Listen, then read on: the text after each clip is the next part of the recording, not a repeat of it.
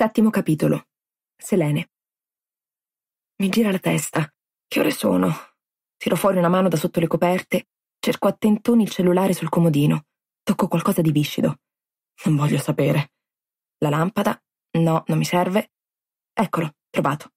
La mia testa esce dal lenzuolo come se fosse una tartaruga che si risveglia dopo un lungo letargo.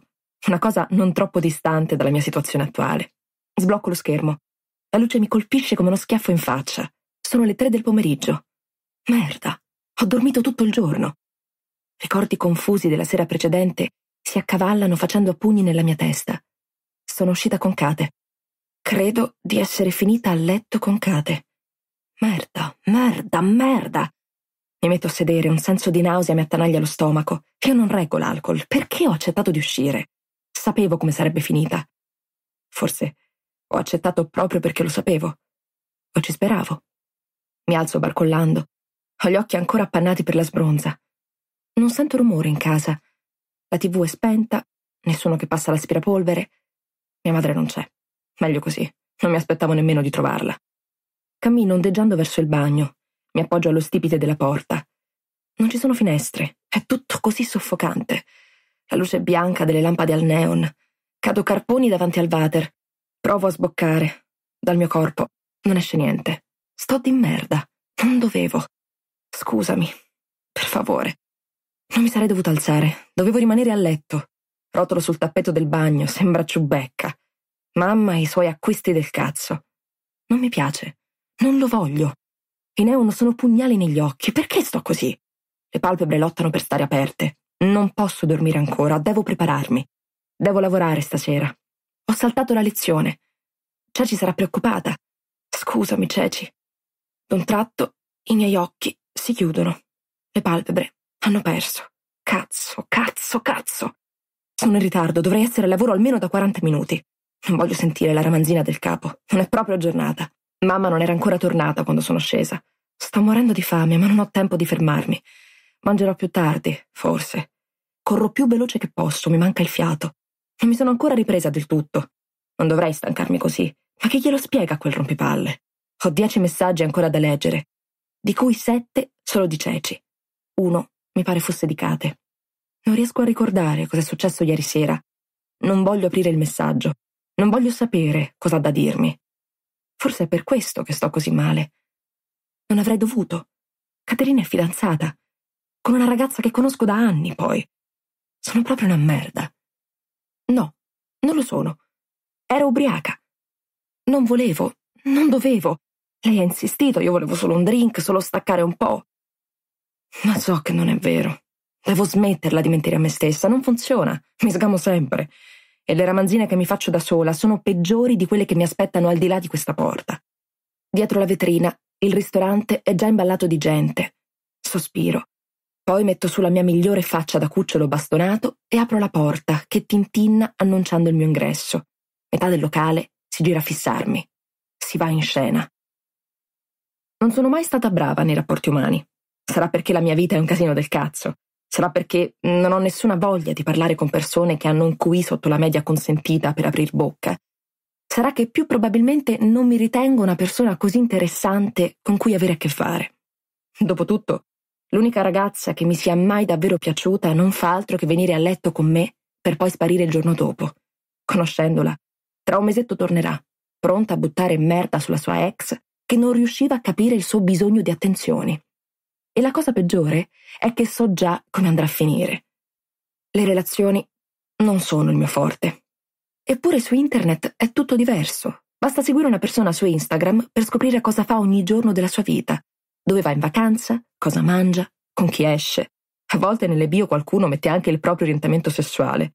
Forse è un invito a farsi avanti. O forse è un modo di combattere il bigottismo latente che sembra non voler abbandonare nemmeno la rete. Insomma, le relazioni sui social sono diverse. Tutto viene trasformato in una serie di codici e parole accuratamente scelti per non fare una misera figura di merda. Ti basta lasciare un like a una foto per apprezzare una persona, senza dover stare lì a dirglielo e a spiegarle quanto ti piace. A che serve se puoi lasciare un cuoricino? Nonostante tutti questi ragionamenti, continuo a fissare lo schermo del mio cellulare. Fino a pochi minuti fa Stavo cazzeggiando tranquillamente su Instagram, scorrendo come al solito le centinaia di profili, alla ricerca di qualcuno che potesse assomigliare anche solo vagamente a quel volto del cazzo, quando improvvisamente mi sono imbattuta nel suo profilo. Diciamo che non mi ci sono proprio imbattuta. Diciamo che ha mitragliato d'un centinaio di mi piace le mie foto. Diciamo che ho spiato il suo profilo per un quarto d'ora buono. Ha una faccia simpatica. Magari dovrei seguirla. Apro il suo profilo per la decima volta, rileggo la sua bio. Fuori sede, Accademia di Belle Arti. Sembra interessante. Sto per cliccare il tasto azzurro Segui quando il mio io interiore decide di stamparmi un ceffone sul viso. Lascio il cellulare, quasi scottasse. Tanto non mi scriverebbe. E non lo farei nemmeno io. Che senso avrebbe? Il cellulare giace abbandonato sul mio letto. Instagram è ancora aperto.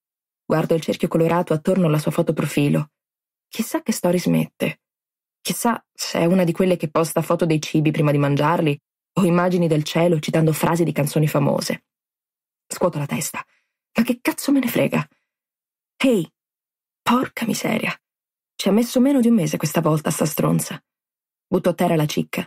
Era a metà, mi è passata la voglia. C'è già Kate che mi avvelena abbastanza, non ho bisogno di altro. Ceci cammina vicino a me. Purtroppo il mio gesto non è passato inosservato. Raccoglie il mozzicone e lo butta nel cestino più vicino. No, non ti ci mettere anche tu, eh. Che ti ha fatto la natura per farti incazzare così? Tante cose, rispondo sbrigativa, fissando il fastidioso quanto desiderato ei di Kate. Maledetta. Può essere più specifica, signorina? Non ho voglia di scherzare. Ma so che se non le rispondo continuerà all'infinito. Mi ha scritto Kate. Ceci alza gli occhi al cielo. Non avevo dubbi. Non dirmi che ci sei cascata di nuovo. Voleva solo un drink, era una giornata no e... È sempre una giornata no per te, Lene. Non è una scusa. Il suo tono è di rimprovero. Mi fa incazzare.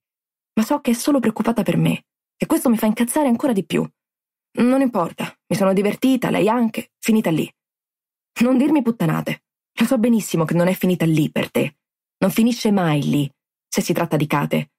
Sei peggio di mia madre, ribatto, mentre mi fisso le punte delle scarpe sporche e rovinate. Non voglio incontrare di nuovo i suoi occhi. Che ti ha scritto? chiede dopo un po', con tono rassegnato.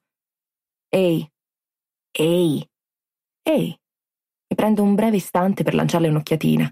La sua espressione è a metà fra lo sconvolto e l'indignato. Ma che faccia di... Devo andare. Ci sentiamo domani? Taglio corto. Non ho voglia di ascoltarla mentre inveisce per mezz'ora su Kate. Senza aspettare una sua risposta, inizio a camminare verso la metro, lasciandola lì impalata. Non scriverle! mi urla dietro. No, rispondo di rimando senza voltarmi. No, che non le scrivo. Mica sono scema. Le ho scritto. Mi sento un idiota. Perché? Perché? Perché non do mai ascolto alla mia migliore amica? È per questo che esistono per dirti che stai facendo una cazzata.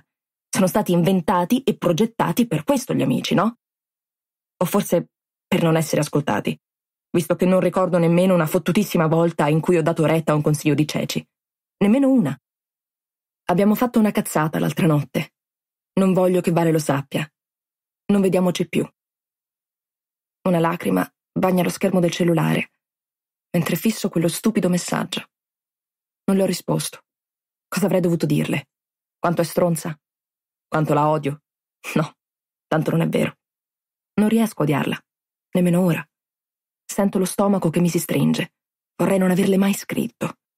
La musica è a tutto volume, ma nemmeno la mia playlist preferita riesce a estirpare questo dolore che sale dalle viscere e mi avvolge tutto il corpo. Una, due, tre lacrime cadono sul pavimento sporco e in disordine. Mia madre è di nuovo partita per lavoro. Non ho voglia di rassettare. La mia scrivania. Gli acquerelli sono aperti, si sono un po' rovesciati su uno schizzo che non ho mai finito. Non ho voglia di disegnare ora. Non ho voglia di trasformare questo dolore in immagini. È troppo, stavolta. Apro Instagram, nella speranza di distrarmi un po'. Voglio perdermi tra le foto, voglio dimenticare la vita reale. È l'unico modo che conosco. C'è ancora il profilo di quella ragazza aperto.